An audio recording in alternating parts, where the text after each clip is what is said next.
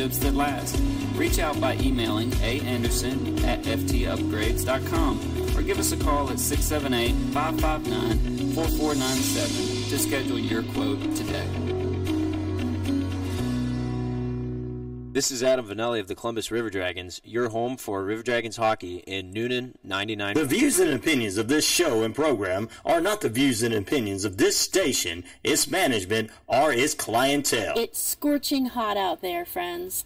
The best way to beat the heat is to stay hydrated, and Water Tree in Newnan has got you covered with their amazing antioxidant alkaline water.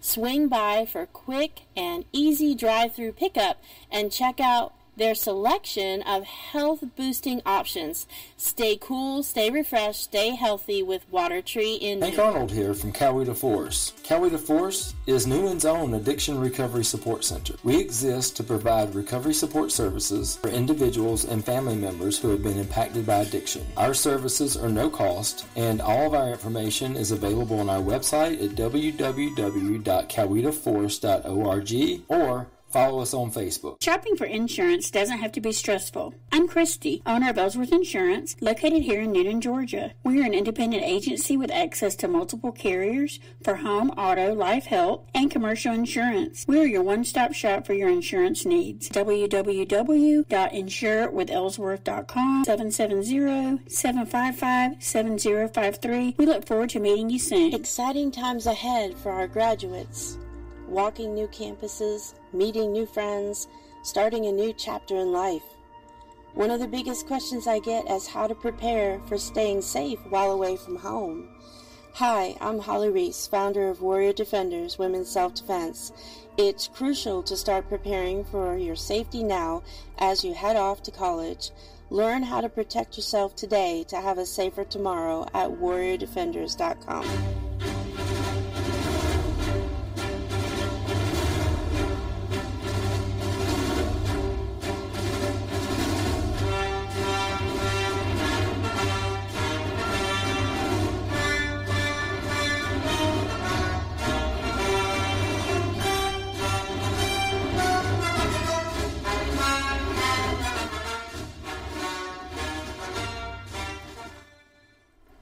Good morning.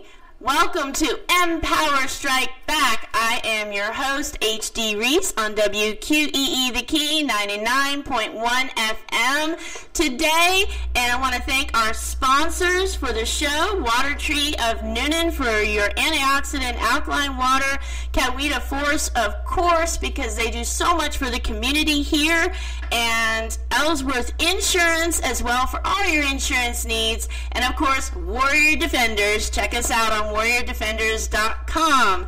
It's so excited to be here today. We're going to be talking about, like last week, our back to school bash with our music. And this week, we're going to be talking about anti bullying and school safety for our kids that are going back to school this week and some of y'all next week. And I want to tell you a little bit, my voice is a little scratchy today because I went to my first ever concert on Friday and we went to go see New Kids on the Block and it was absolutely fun and I lost my voice. I didn't have it for like three days, so it's slowly coming back. But it was a blast, and I was only four rows away from one of the main singers, Donnie Wahlberg. And if you guys back in the 80s and 90s don't remember him, he was my man. I love him, and all the other guys did an amazing job, along with Paula Abdul and DJ Jazzy Jeff.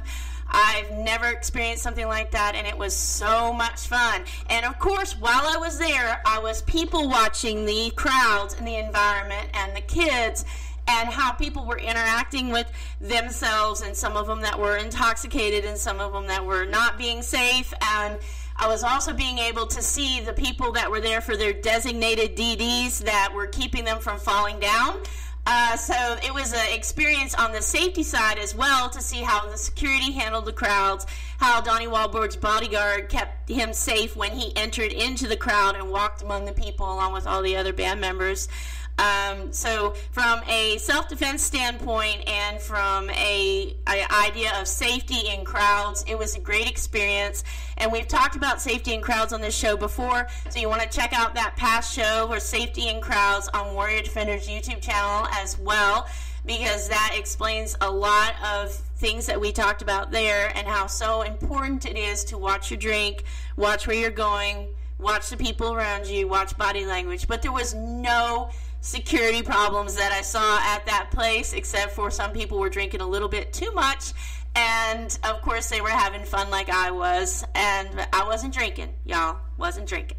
So I wanted to enjoy the experience full force. And it was so much fun to go with the girls and see everybody dressed in neon. So it, um, when we go back to back to school and we talk about school safety, and you talk about what you did when you were kids, it's a lot different than it was back then that it is today. Um, there's a lot more things we have to worry about for our children in school. And one of the biggest things that is, is so prominent now is bullying because not only is it in person, but it's on social media. So we have to teach our kids how to handle bullying and safety in all realms now. So when they're when they are being affected by bullying, it's preventing them from learning because their mental state is being affected by what they're being told by their uh, fellow students and the support group that can be lacking. And unfortunately, we see a lot of children news stories where they have committed suicide because they were felt like they weren't being heard. There is a show on um, Netflix called 13 Reasons, and that's based on um, bullying and also peer pressure. And it's really hard to watch, but it's really true to fact on what happens. And also in that show, they talk about school shootings and how that sometimes, not always, but sometimes delves in from a bullied student who then doesn't know how to fight back. So when we're when we're talking about this, we need to know that they have to have their resources. They have to know who to talk to. And your children need an open line of communication for you to be able to know what's going on in their lives. And I say this all the time watch their social media content. Let them know that if something's happening, you need to be told. Because when they're on social media and somebody sends them a nasty message or somebody posts a video about them that wasn't appropriate, uh, that that's okay to come to the parent and say, this is what's happening to me. I don't know how to handle it. Teach them how to emotionally handle this because they don't know because they're in they're easily influenced at that age and in the teen years especially if something's happening to them, they can carry that on into their adult life if they don't know how to handle it. And unfortunately, bullying doesn't stop when we're just teens either. So that's something that we need to have as a life skill to move forward. Is it good when people are bullied as an adult, no. Does it happen? Unfortunately, yes. But it happens in a different way. So keep that line of communication open with your kids because then they know my parent will not will not have my back. They don't always can't do something about it, not always, but they will listen to me and we can talk about it and have a one-on-one so they're not holding all this information in. That's being done um, actually saw a movie last night that this one kid was um, thinking he was getting into a crowd that would advance his career on a dirt bike uh, BMX trial racer. And they ended up taking a video of him, splicing it together, and making him look bad on the video and releasing it. And had thousands of views. And it just was destroying his mental state. So th- these things do happen, and then they'll also private message people. Like if they pick on them at school, back in the day when we got picked on at school, we could go home, we wouldn't have to deal with them, right? Because they didn't have our phone numbers, didn't know half the time where we lived and all that. And then, of course, now they can pick on you on social media, and then that causes severe depression for the person that is being bullied. So we have to teach our kids how to keep that social media safe, be on their social media block those people that are being problematic. Talk to the principals, talk to the super the super supervisors at school, superintendents. Make sure that you are teaching your children how to do de-escalation with a bully as well. When I teach the Girl Scouts, especially, we have in our seminars at the end of the seminar, after we're doing the self defense classes and we teach them how to defend themselves from the bad people who are trying to hurt them that aren't their fellow students, we have a discussion and a powwow about anti bullying and how to de escalate a situation with verbal. De- um, a t- verbal defense. So with a verbal defense, it's it's all about distracting the bully from coming at you. If they're saying something negative to you turn around and get their mind off of what they're saying and start talking about them. So it's an exercise that we do and it's very hard but verbal de-escalation is one of the hardest things because it's mental it's different than being physical. So with uh, physical, it's like, oh, I can handle this. But even in self-defense, it's all about your mindset. So if your mindset doesn't go into fear or start to cry, especially when we're younger, you can get emotional. If you keep your mindset calm, it's a good drill to do to be able to de escalate the situation. So if somebody came up to you and said, you know, your hair looks awful, uh, what's wrong with you, you know, you're weird, or anything like this, especially as when we were kids, and the person who's hearing this doesn't take it internally and realizes that bully is attacking them for another reason and then can turn around and say i love your hair. What do you use on it? I would love my hair to look like yours. Or where did you get your shoes? They look amazing. Um, i wish i could wear that outfit. That's not my color. Anything like that to just take them off of attacking you and turning it around to say, and then the bully would be like, oh, well, thank you. I use this product on my hair. I went shopping here. My mom took me there. Um, and you might actually be able to switch that whole conversation around to where nothing escalates into anything else.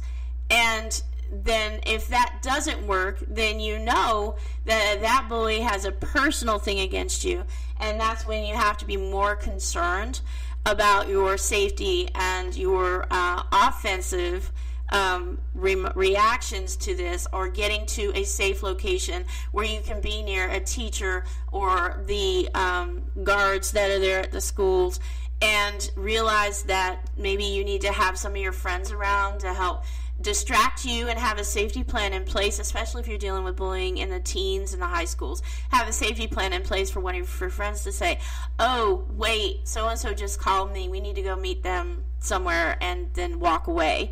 And it's not a bad thing to walk away from a situation like that. It's not like you're being a coward. You're not the what they called back in the day the chicken to not fight. It's more strength to show to avoid a fight than it is to get involved in one. That shows more personal inner strength than being able to go out and defeat somebody. I know the new Cobra Kai show just dropped um, on Netflix, and I was a Karate Kid fan back in the day, and that was something that's always for karate is for defense only. And it is. It's not about seeking a fight. It's not about showing who's bigger than the other person. It's not about figuring this out. And this goes for girls and boys now because girls and boys both get into physical fights at school. We see them on the videos all the time. And those things are escalated by the crowds. They're escalated by the cell phones. They're escalated by the peer pressure to say, well, you're not going to take that. It's not worth it. It's not worth it to get into a fight with somebody and feed into their antagonistic ways in a conversation. So we're not going to go and say, well, that bully's going to say this to me, and I'm going to come back and play the yo mama game and, you know, keep going with it. It's best to stop it right there in a verbal de escalation to say, well, you're not going to say this about me. Uh uh-uh, uh, and get all defensive. It's not going to happen. So we need to go ahead and turn that turn that record around and say, I'm sorry you feel that way. Thanks for your input. Or what about your shoes? Or I could use some help with this class if they're picking on your grades. But don't take it personal. and and that goes for college as well those those things happen up there too don't take anything somebody says personal because a lot of the times bullies are actually fighting something else in the background and they're passing whatever they're going through at home to you and if we realize this then in the back of our mind we can already be like okay this person has this going on.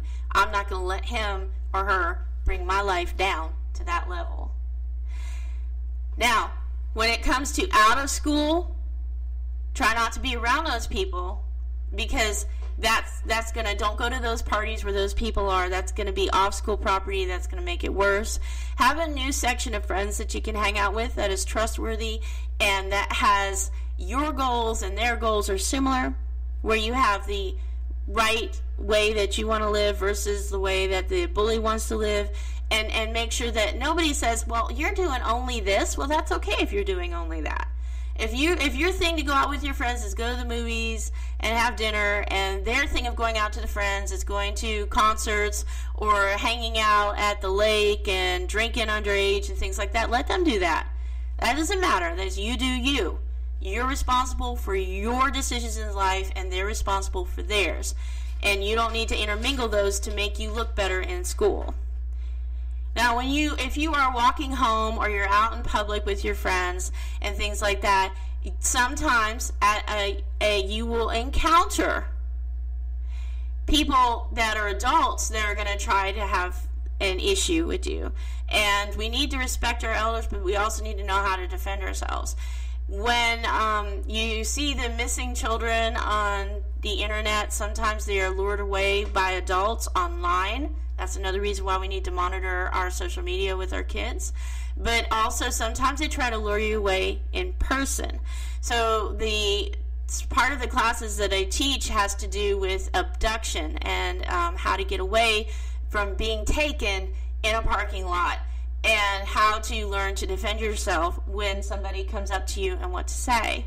So we go over, uh, you know, the creepy creepy van syndrome and you know how we can get away from somebody blocking your exit.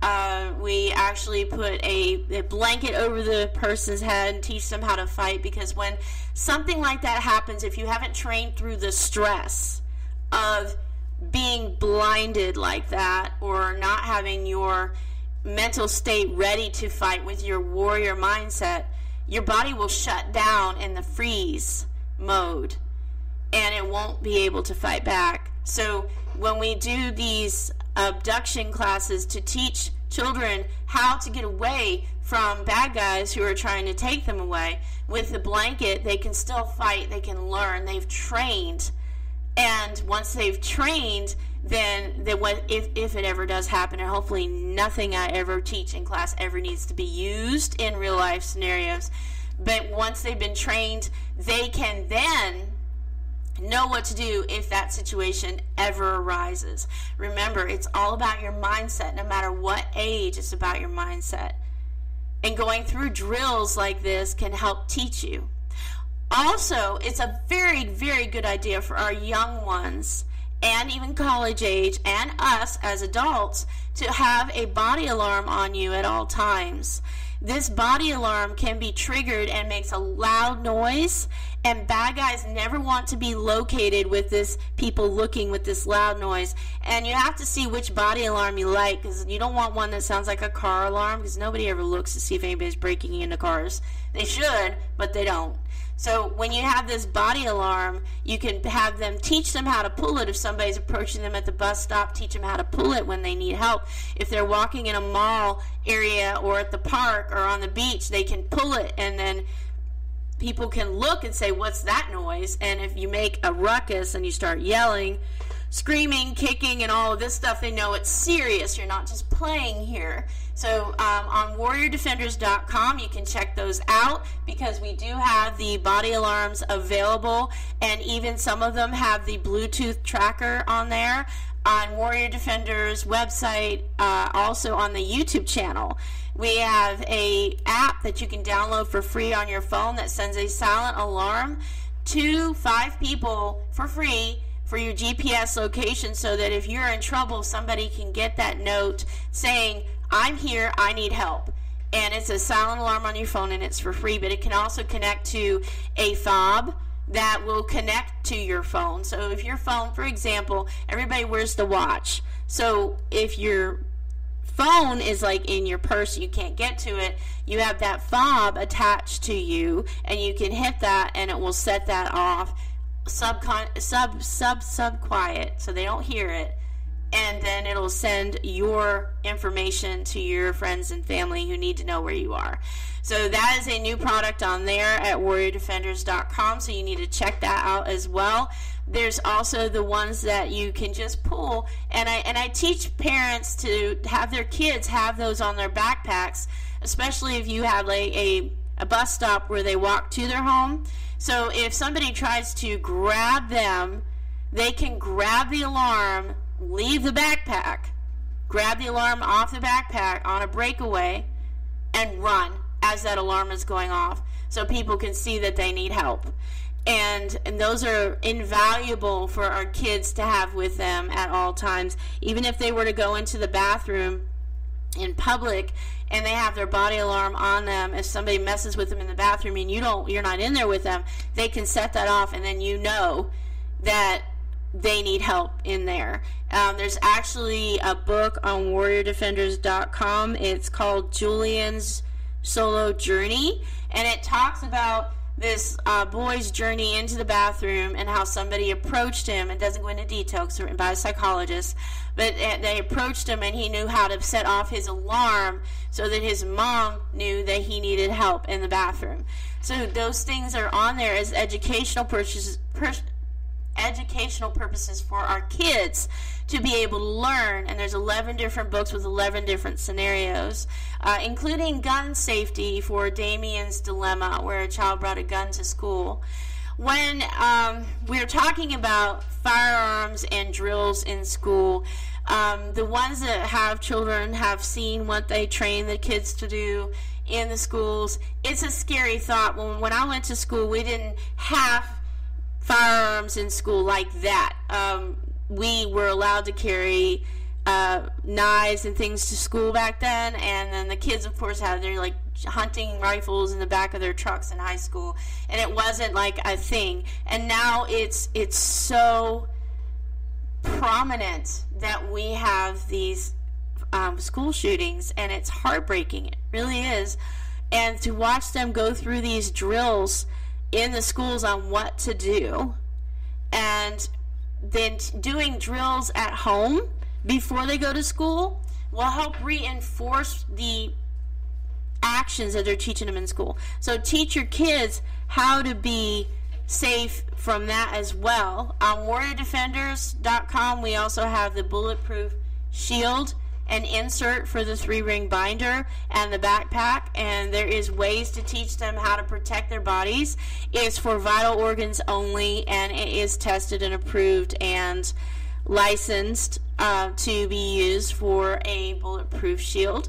Uh, it's not a subject that I like to talk about very much, but it is unfortunately a necessity to talk about.